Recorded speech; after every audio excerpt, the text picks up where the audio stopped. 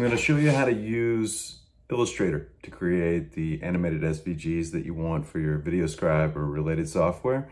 And you can plug them in and they'll be animated. So you don't just have to use what is given to you for free by uh, VideoScribe or what you buy online. You can make your own. And I really think that's the freedom in this software. So you're gonna wanna check this out.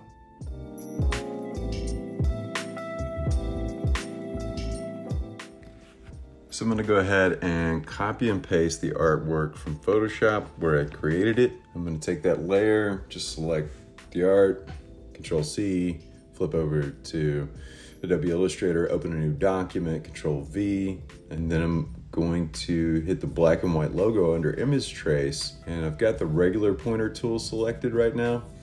I'm adjusting the threshold a little bit. Now I click expand. You have to click expand to get the artwork where you can continue to manipulate it. So you can select A for the open pointer and delete the white space around it by clicking it. Now drag it back with V, the closed pointer. Go ahead and create a new layer, lock the underbase layer, and you're gonna turn your stroke on, usually run it up somewhere between a five and an eight using the pencil tool, which is the quick command N as in Nancy, or pencil, I guess. And then you can start making these lines. As you make these lines is the way that they will render out by the hand or whatever selection that you choose in VideoScribe. Each point that is made is the path for the vector to create for the hand to follow. So you want to complete those points.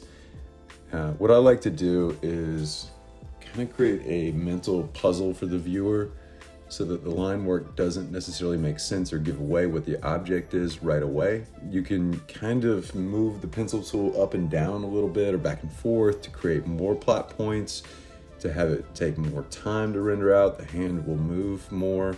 If you've ever made your own hand in VideoScribe, it's usually just two positions. So the hand will move between those two positions to kind of show the movement in the plot point sequence.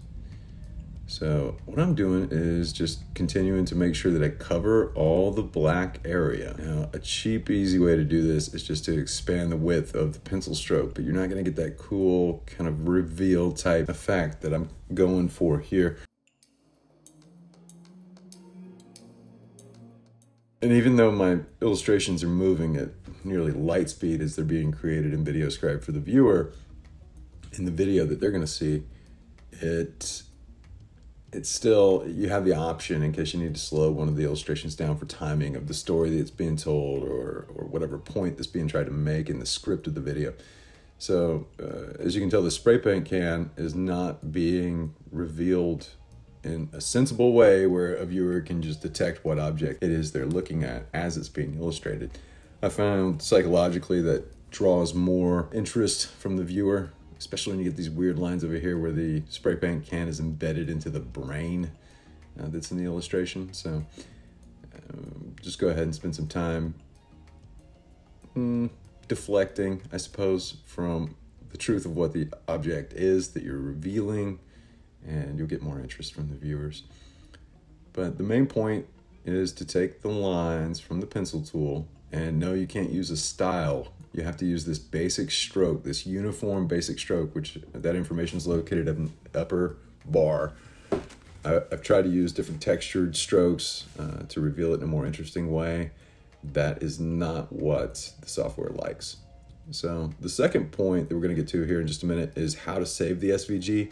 There's a certain way to save an SVG for it to render out properly in VideoScribe or a similar similar software and that's that's really where I move fast in this video, so I'm gonna have to pause it so you guys can kind of see what I'm talking about. I think it's presentation attributes that has to be saved on, and there's one other setting that you have to do correctly in order for the SVG to render. Now remember, I'm doing this in two layers. I have the locked layer where we have the uh, vector artwork that we've created here in Illustrator from our Photoshop drawing and we have the layer that we're working on. And now I'm switching back to the close pointer using the tool V and running the opacity of that entire selection to zero. And I hit Control Shift S and popped open, the right folder was already popped open. So here we go. The settings you need to pay attention to when you go to save are SVG profiles should be 1.1. The type should be SVG, subsetting none. Important part is image location should be embedded. So the image is located in the same file as the path that the animation will follow. CSS properties. This is really important. It needs to be set on presentation attributes. It won't work if you don't do that. And then follow the rest of the settings. This should be def by default. And then once those settings are all set, you can hit OK. And after you do that a couple of times, uh, you don't reboot the computer for a while, it will be the default. So you can go ahead and just run, you know, 20, 30, 50 of these, and you'll be able to hit save and not really worry about what's going on on screen uh, for the format. So we take the ruler, go in there, same thing, create a new layer. After we've turned it into a logo and expanded it, you'll see that I just take the open pointer, delete the space around it, so that there's not extra white space included in the, the image that can kind of contrast or overlap another image that you're gonna be doing in your, your video, your animated video. So I'm doing the same thing. I think I ran the stroke up to a 10 in here because I was finding that the lines were a little harder to cover in the last illustration. I kind of get a setting and I just run with it. This is done for every every illustration that is animated by the hand in VideoScribe. So all those preloaded ones that come with VideoScribe or whatever software you're using, uh, this is how they were created. Um, and this is how I create this. There are the ones that have some color to them. Uh, I'll probably do another video on that because some people are interested in doing this. I usually like to use a limited amount of colors because in a whiteboard explainer style video, I think of the, the media of the whiteboard and how it is limited to only a few colors. And if I'm working with a client that has a good branding situation, typically what we'll do is borrow one or two colors from their branding and create uh, kind of a color palette that shows up throughout the video, but not necessarily in the animated SVGs that we create. Sometimes, yes, but uh, for effect, uh, really was where I use color. So it's kind of restrictively. As you can see, this is finished. So just select the whole thing again and take the opacity and run it down to zero. That path is not seen and save the file to the SVG and it's set on embed, presentation attributes. Go ahead and open up VideoScribe by Sparkol, log in, and of course they got to tell you what's new all the time, blah, blah, blah, blah, blah. Create a new scribe and uh, yeah, uh, it's been a while since I've seen this interface. There we go. We're going to put an image in. Um, so we're going to run to the correct folder, the intro that we're creating, and put the brain in there. I did I did uh, I think I went through and made this an animated SVG, but I wind up not animating it, so that was kind of a waste of time. But um, so instead of setting it to draw in the real video, um, it doesn't. But uh, you can see it here, the way I set this up. So uh, maybe I hit play. That would be really smart if I hit play right about now. Nope, gonna go ahead and compose more elements. Yeah, set the camera. Now we're gonna go ahead and bring in another element of the illustration, uh, the spray paint can. It's a little small in comparison to the original illustration that I created, so there are places where those lumps of the brain line up. I'm probably not going to find it. Uh, I'm just kind of going to make something that works. Zoom out.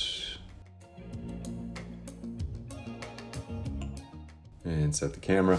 So that looks pretty good right there. Click on this, type in the number of seconds that I want for the animation, the number of seconds for the pause, the number of seconds for the transition. Go ahead and lower those down. So just take the next element, which would be that ruler, plug it in. And um, once we got that in there, probably start moving the camera around after that. But this looks pretty good.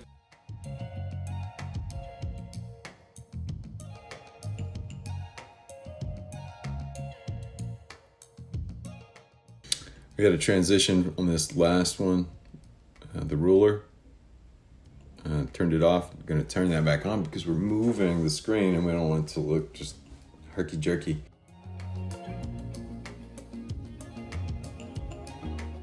There's the X-Acto knife. That's the other piece that goes on this right brain thinking.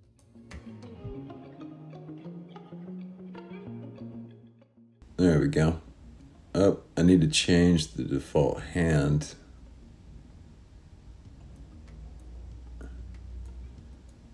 There we go. That looks like my hand. It's not my hand, but it looks, well, it's nicer than my hand, but it looks like my hand. There we go. So that's how the brain gets drawn out. There's the spray paint can, and it looks like it doesn't matter. It, but the slower reveal, it's just a real subtle, small uh, trick for enjoyment for the viewer.